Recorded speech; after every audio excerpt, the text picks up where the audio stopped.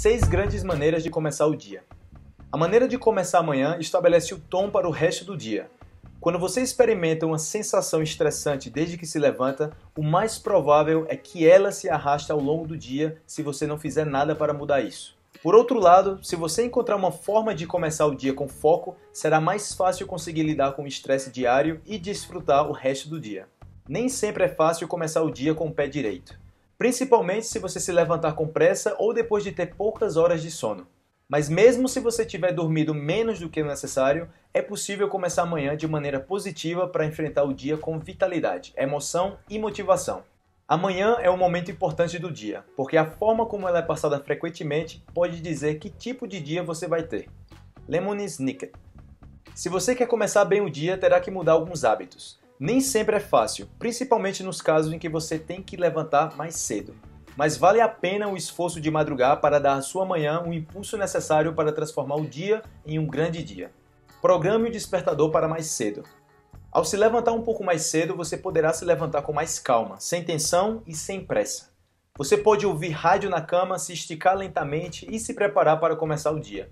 Acordar mais cedo não só lhe permitirá desfrutar alguns minutos na cama, como também lhe dará a oportunidade de criar uma rotina mais relaxada para começar o dia. É bom estar de pé antes do amanhecer.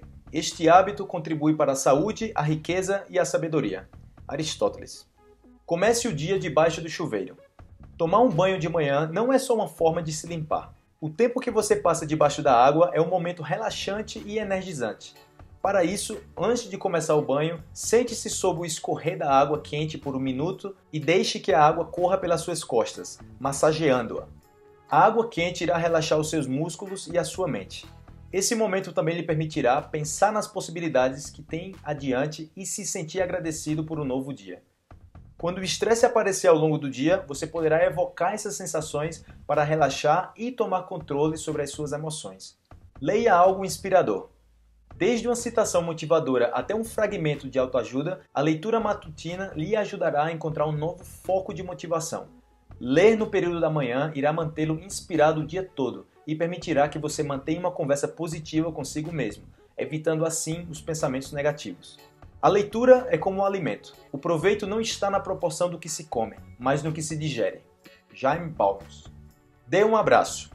Os abraços geram uma explosão hormonal que nos ajuda a sentir bem e a superar os medos. Por isso, começar amanhã com um abraço é uma forma excelente de começar o dia.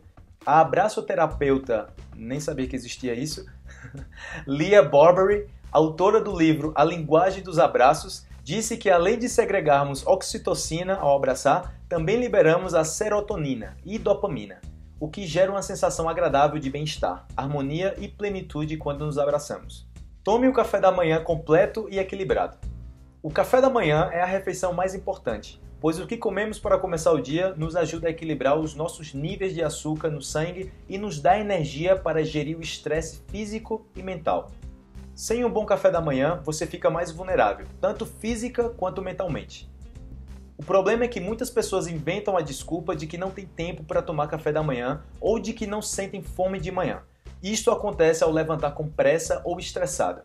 Mas se você começar a seguir as dicas anteriores, principalmente a de levantar mais cedo, vai ver como poderá preparar e tomar um bom café da manhã. No entanto, não vale comer qualquer coisa. O café da manhã tem que conter todos os grupos de nutrientes necessários para o corpo, ou seja, carboidratos, principalmente complexos, evitando abusar dos açúcares simples, proteínas, vitaminas, minerais e gorduras saudáveis, evitando as saturadas. Mexa-se! O exercício moderado irá despertar o seu metabolismo e proporcionar energia, tanto para o seu corpo como para a sua mente. Dar um passeio ou praticar yoga são algumas opções.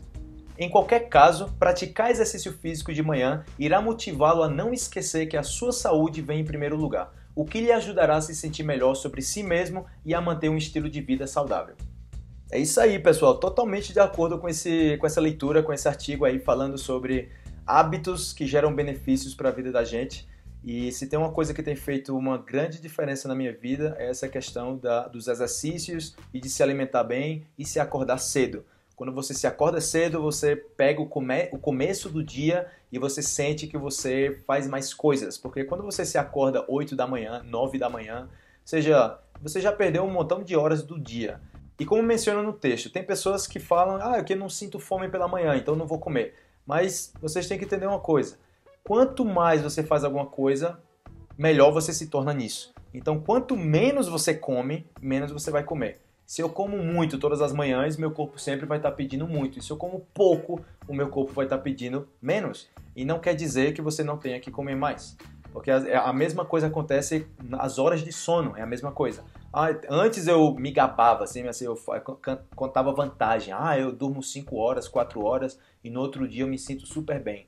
Mas o corpo precisa de 7 horas, 8 horas para você se sentir bem, para você dormir, descansar, recarregar as energias para que você possa gastar no, durante o dia. E não quer dizer que você, ah, eu durmo 4 horas e está tudo bem. Isso mais adiante vai ter um efeito e com certeza não vai ser um efeito positivo. Então, bacana, gostei muito aí da, dessa leitura particularmente e é uma coisa que ajuda muito as pessoas. Então, essa página se chama sabiaspalavras.com e tem vários artigos desse tipo, ok? Artigos que vocês vão ler, vão aprender português e vão aprender mais que o português através desses artigos. Você sabe que a minha ideia de ensinar português é essa: trazer muito mais que o português através das aulas de português. Beleza? Então, até a próxima leitura. Espero, espero que você tenha gostado. Deixe um comentário sobre o que é que você acha sobre isso. E, claro, deixa um me gusta se você gostou e compartilha com um amigo que você acha que precisa ler esse tipo de material, beleza? Um abraço, tchau, tchau.